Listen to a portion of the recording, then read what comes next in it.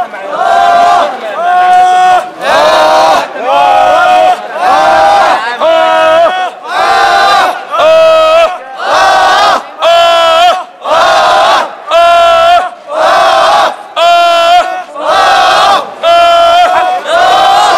نزل رئيس الوزراء قال المنظومة الجديدة ما فيش فيها مناديب ممنوع المناديب. هوت هوت مشى كلامه على وز... على رئيس الوزراء. في أي بلد إحنا؟ المحافظ البحيرة. هوت هوت مشى م- هوت هوت محافظ البحيرة. مشى كلامه على محلب. رد عليا يا محلب. إحنا في أي بلد إحنا؟ المحافظ يمشي كلامه على رئيس الوزراء. أنت قلت لنا على الرصيف هنا ما فيش منظومة فيها مناديب. وهوت هوت طلع قرار امبارح لازم تشتغلوا مناديب. رد عليا يا سيسي. في أي بلد يا سيسي؟ فينك يا سيسي؟ إزاي؟ إزاي محافظ يمشي؟ عشان ابن خالد حازم الببلاوي إزاي يمشي. إزاي يمشي؟ يمشي كلام على رئيس الوزراء.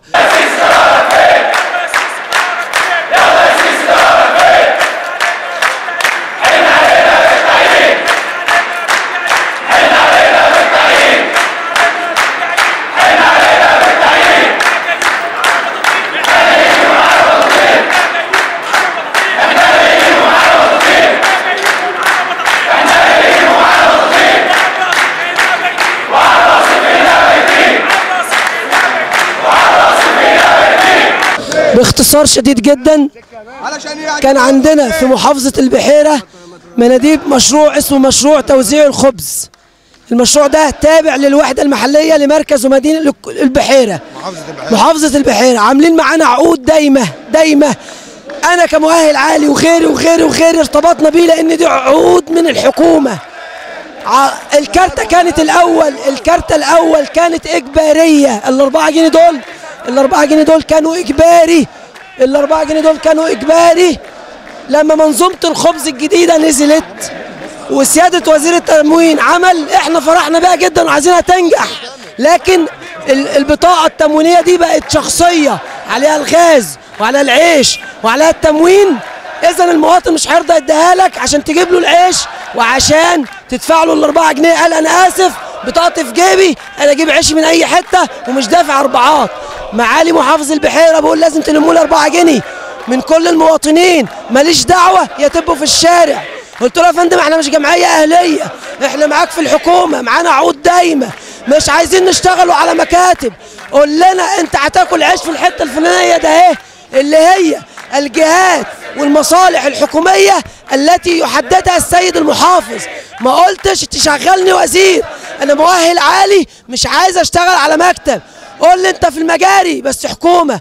قول لي أنت في في في, في الصحة حكومة. قول لي في إدارة ما أعرفش إيه. قول أنت في مجلس محلي. قول شغلني بس ما تقوليش ما تقوليش قطاع خاص. لأن أنت لأن أنت لأن أنت كنت لأن أنت كنت من عشرين سنة تقول لي انت جمعية خيرية أقول لك شكرا سلام عليكم. أنا رايح أشتغل في القطاع الخاص ب 1000 جنيه.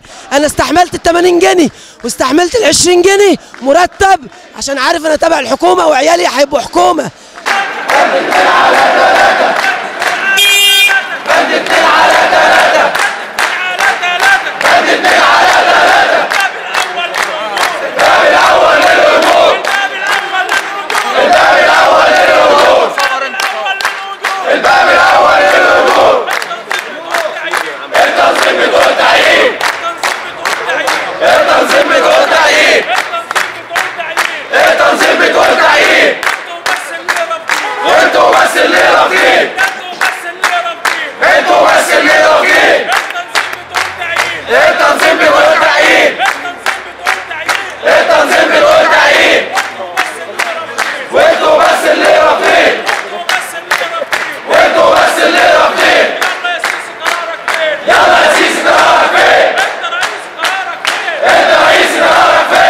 اللي ممضي مع الحكومة قانون 47 يعني مش جمعيات أهلية.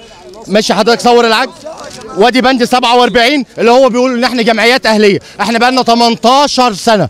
أدي قانون 47 اللي هو بيقول جمعيات أهلية وبيكذب.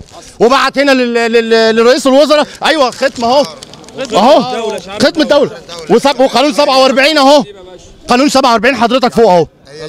الجماعات الأهلية هتديك خدمه شعار منين؟ بس يا ريس 47. يا ريس يا ريس الفئة الوحيدة اللي اشتغلت أثناء الثورة. توفيق عكاشه كان قاعد في التكييف وعمال يستهزئ بالثورة وإحنا اشتغلنا اشتغلنا أثناء الثورة. أنا بمشي 7 كيلو على الترابة. انضرب عليا النار في الثورة عمره ما ثبت إن مندوب تخلف. وإبراهيم عيسى ده كان فين؟ كان بيحب علي صفوت الشريف. وكان قاعد في التكييف أثناء الثورة إنما أنا كنت بشتغل. عمري ما عملت إضراب. عمري ما تخليت لحظة واحدة عن عملي. حتى الشرطه عملت إضراب. الإعلاميين عملوا إضراب. ما عدا إحنا ومع ذلك ناس كتير من اللي بيتحكموا في مصايرنا دلوقتي قاعدين على الكرسي. وإحنا قعدونا في الشارع. بعد ده كله وقف جنب الثورة قعدونا في الشارع. اتدخل يا محلب الله يرضى عليك.